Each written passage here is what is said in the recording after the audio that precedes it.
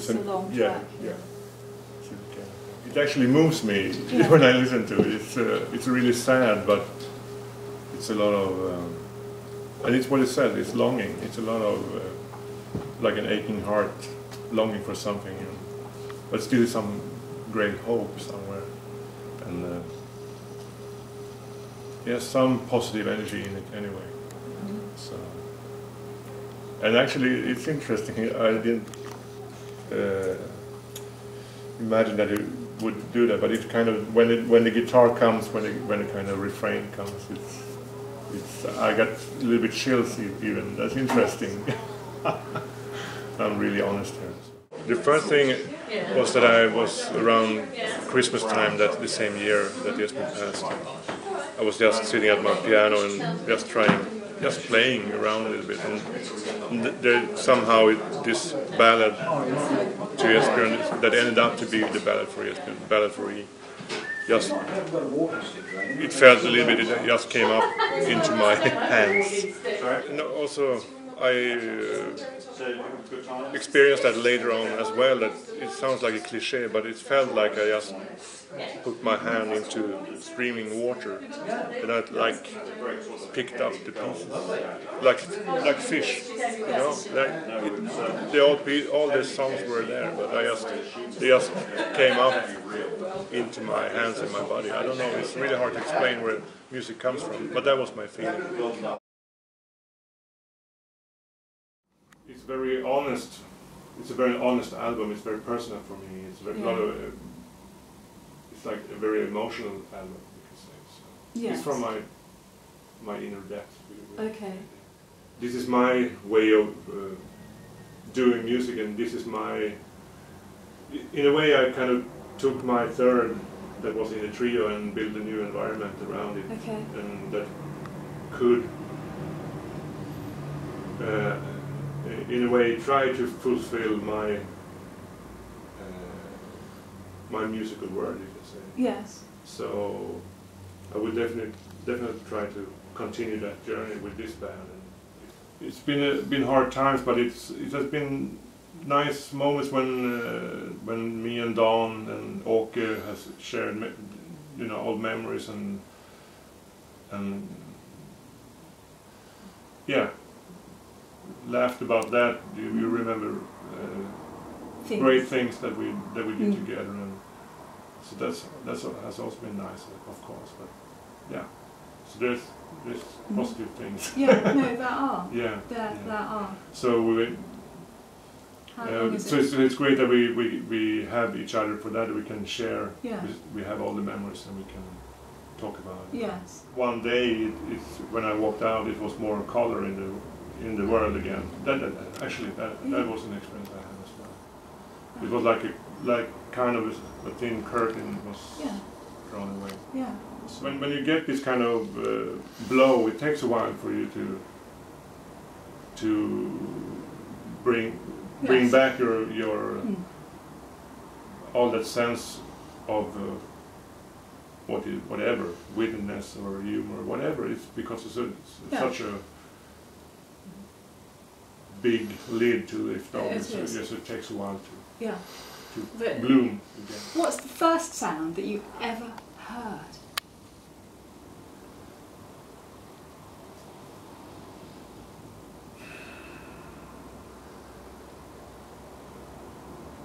Um,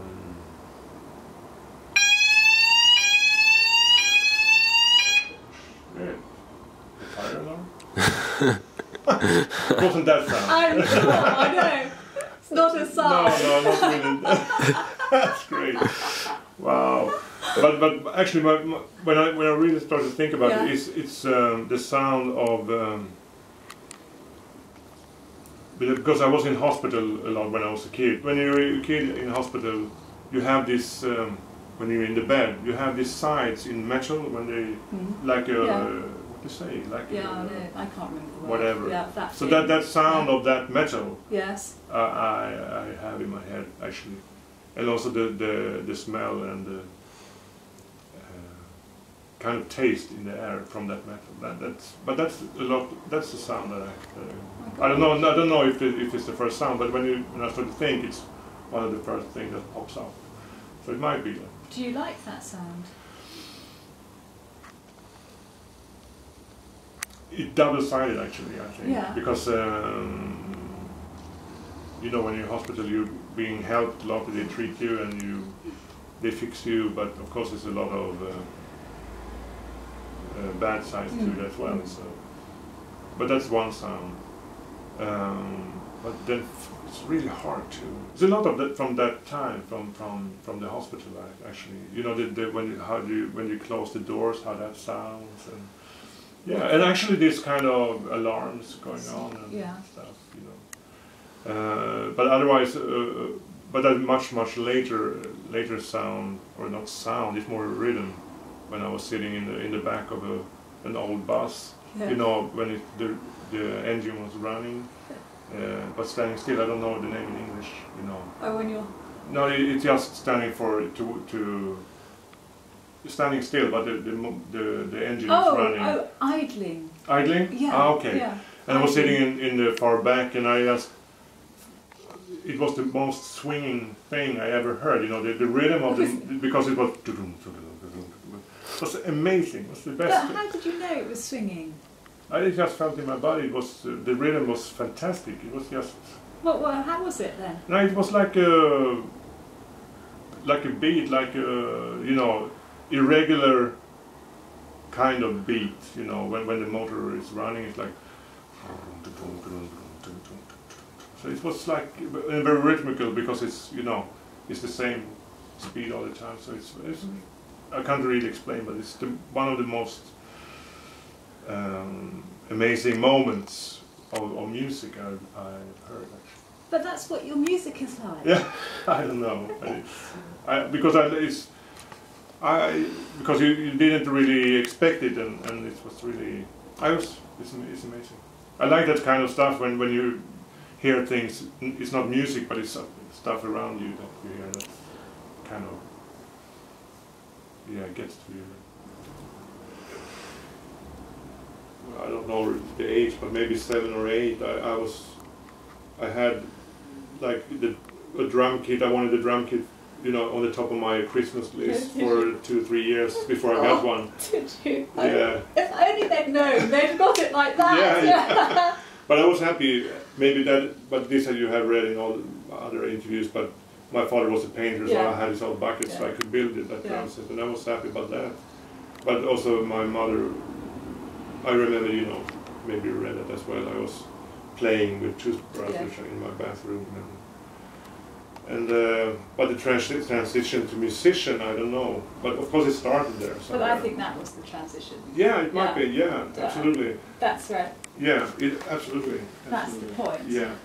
So and but I still can't really. I still don't know why it ended up being drums. Why I was drawn Yeah, to the drums. I, I'm, I'm trying to think about it. I can't really recall it.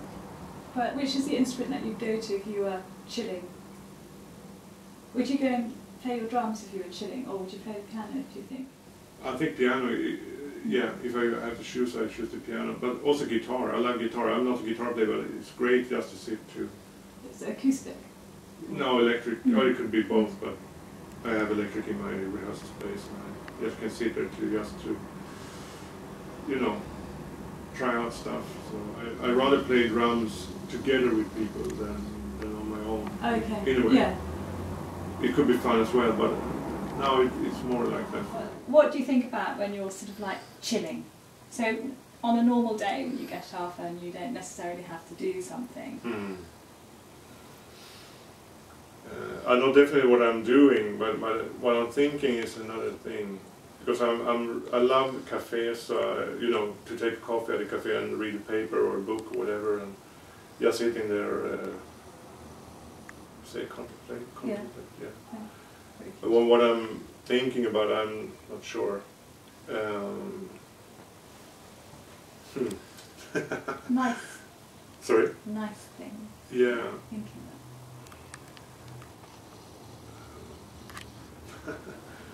The last couple of years I've been thinking, thinking so much of what to do in my future. So um, if I'm going to continue playing or what, what what e- what else I can do. So yeah, Why did you have to think about that? I, I think I always wondered what I'm going to do because I did, wasn't really sure that I'm going going to be continue playing all the time, even before what happened. So. Uh, so I, I think I always have revisited or or visited that, Mm. that area, what I'm going to do, and and I asked the only thing I, I come up to come up is that uh, like I can't really I don't really know what to do, so I do something while I'm thinking of what to do. So that's yeah.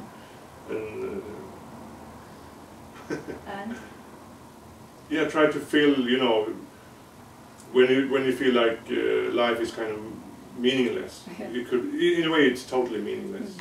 So you have to fill it with things, mm, and uh, that's what I'm trying to do, and what I'm thinking about to do, and what I'm doing. mm, So it's just in a way a, a sad thought that you have to fill something that is empty, but it's it's also nice. You can fill it with nice things. As